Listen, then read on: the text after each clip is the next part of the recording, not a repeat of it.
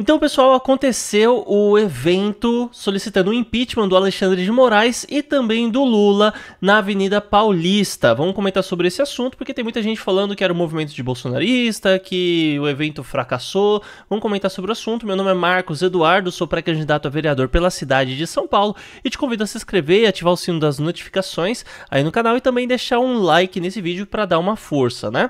Então a gente tem aqui, por exemplo, a publicação do Marcel Van Hatten, que do meu ponto de vista, foi o discurso ápice dessa manifestação e nem era certo se ele ia vir ou não. E como você pode ver, de fato o evento não estava lotado, não estava abarrotado de gente. Eu acredito que ele encheu um pouco mais que isso, mas eu acredito que não passou de 10, não passaram de 10 mil pessoas. Não foi uma coisa gigantesca mesmo. E a gente já viu algumas matérias falando que, na verdade, esse é um evento, primeiramente, né? Ah, é um evento bolsonarista, evento só de Bolsonaro bolsonarista e tudo mais. Só que, na verdade, é, eu hoje, né, eu acabei machucando o pé, não consegui. Eu tinha um evento do Partido Novo pela manhã, que é o partido por onde sou filiado e tal, na pré-candidatura e tudo. E o pessoal combinou de ir no evento de manhã e depois ir no evento do impeachment, né? E o pessoal do Partido Novo, novo tava em peso lá. E eu vou ser bem sincero com você: grande parte do Partido Novo não é diretamente bolsonarista, tá? Então, assim, as pessoas que estavam aqui, do meu ponto de vista, não eram de fato bolsonaristas.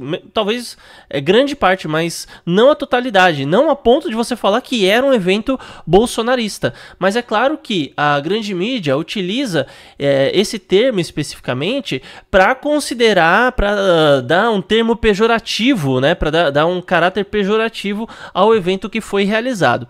Segundo, ah, mas teve só 10 mil pessoas, né? Não foi tanta gente assim. No fim das contas, eu considero que foi uma grande vitória porque é o início disso tudo, tá? Então, a gente tem hoje o pedido de impeachment é, com 140 assinaturas que foi inicialmente protocolado pela deputada Carla Zambelli e o pedido que tirou a Dilma tinha 40 assinaturas, o pedido que tirou o Collor tinha 25 assinaturas. Como funciona o processo?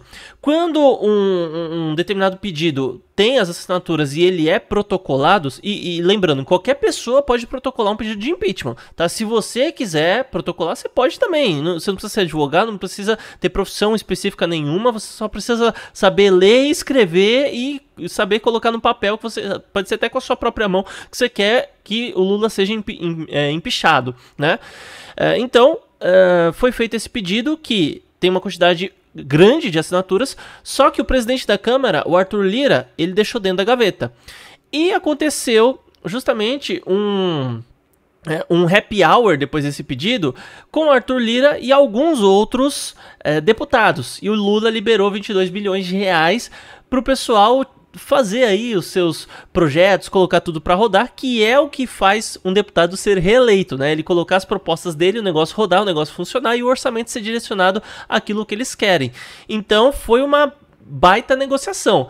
E para cada pedido e para cada pressão que é realizada, aqui ó, eu falei do Partido Novo, ó, tem duas pessoas, ó, Marcel Van Hatten discursando. Esse daqui é, esses dois, salvo engano, eles são dois pré-candidatos a vereadora, que o vídeo está um pouco longe. Esse daqui é um pré-candidato que ele, é, ele trabalha como Uber, tá? Essa daqui é uma moça que também já apareceu em um dos meus canais, eu fiz uma live com ela, tá? Então ambos são pré-candidatos do novo, né? Pra você ver. E, e, esse pessoal não é bolsonarista, tá? Eles até votam no Bolsonaro contra um Lula, mas se tiver alternativa, eles colocam um outro candidato. Tanto é que, para a Prefeitura de São Paulo, o novo pretende registrar a Marina Helena. Eles não vão seguir o Bolsonaro e apoiar o Nunes, né? Eles têm um candidato. A gente tem um. Nós temos um candidato próprio. Mas a questão é, então foi feita essa mega negociação, cada vez fica mais caro para o Lula e não tem como nem o presidente da Câmara, independente de quem seja, colocar para votar um pedido de impeachment se não tiver povo da rua. Então, gente, para que o impeachment do Lula aconteça, é necessário que tenha gente na rua, é necessário que isso aconteça.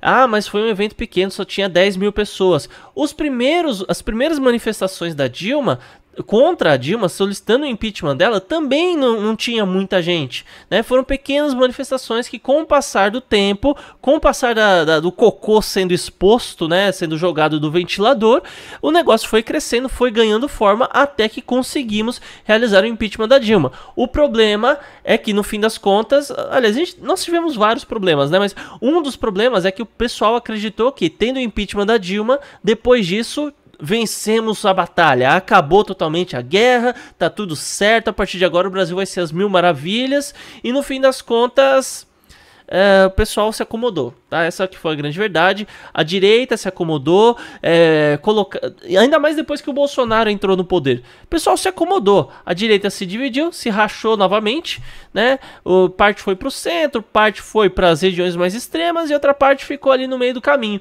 E no fim das contas, a gente, nós tivemos uma derrota gigantesca porque a esquerda se uniu e venceu a eleição, tá? É, então eu penso que isso daqui foi muito bom, foi um bom começo para as manifestações.